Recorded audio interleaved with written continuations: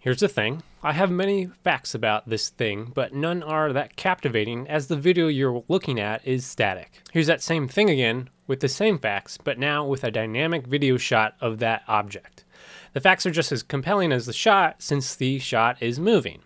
Today we're going to design and build a motorized rotating platform to improve your B-roll footage. A dynamic shot of a stationary object is a great way to improve filler content in a video. There's lots of 3D printed versions of a rotating platform that are great for small items, but this build is going to be focused on something for medium-sized objects with a comparable weight as well.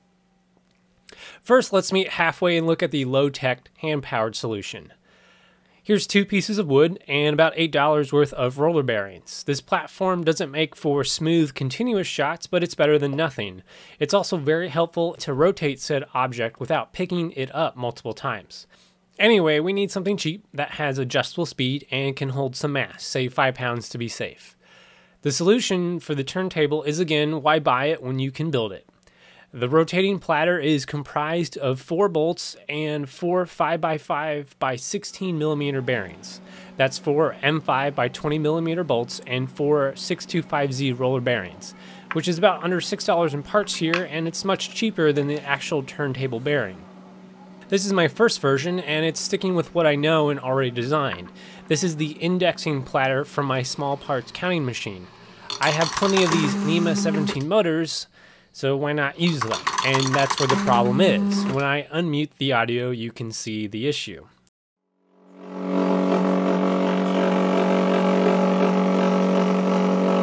Yeah, that NEMA 17 motor is loud when you drive it from a basic L293 driver. Sweeping through the RPM range also shows a few speeds that tickle the resonance frequency inherent to this design. I do have a damper installed in motor, along with bolts loosened so the vibration isn't transferred so much. However, running this stepper at the lowest speeds without micro-stepping make the movement extremely jerky. I don't want to put more time or money into a better driver or gearing this stepper down to add complexity, so I'm going to scrap this version. Version 2 is a unique example. Many years ago I bought four of these appliance stepper motors thinking they would be a good solution for my Venduino, but they were not. This is the 28BYJ-48 variety seen in many Arduino kits. These steppers are geared down 64 to 1, which is great for this application. However, they are extremely weak, but if we stick four of them in unison, we can mitigate that issue. I've also geared down the driving gear from 12 teeth to 10 teeth against the previous iteration of this design. The drive gear to the turntable platform is 1 to 8, or 10 teeth on the driving gears and 80 teeth on the larger platform gear. From the perspective of the turntable platform, we top out at 3 RPM with this gear ratio compounded with the stepper motor's max speed, which is about 24 RPM. Building the circuit looks like this. I added a reverse or rewind button to give some extra leeway when trying to set up a shot. It's unnecessary, but it's fun to do stupid stuff anyway.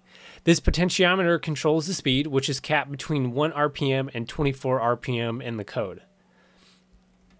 A separate DC supply for the stepper motor is a must. I'm driving these motors at about 6 volts. I've read comments that you can drive these motors above 24 RPM at higher voltages, but your results are going to vary. The code just loops through removing the stepper one step, while also checking the potentiometer value. This value is mapped to the stepper's speed. Pressing our rewind button just calls the stepper to reverse direction, hence the negative one. Disclaimer, you've probably noticed this is a prime example of a simple tool that if you need it, you should just purchase it. It's another example of why buy it when you can build it for three times the cost, but I'm pretty stubborn and I have all these motors I want to use anyway. If you are just starting this project, I do really recommend buying a DC motor with an attached gearbox. You can find these 77 RPM motors, and if you gear it down 10 to 1, you're around the range that is good for a turntable.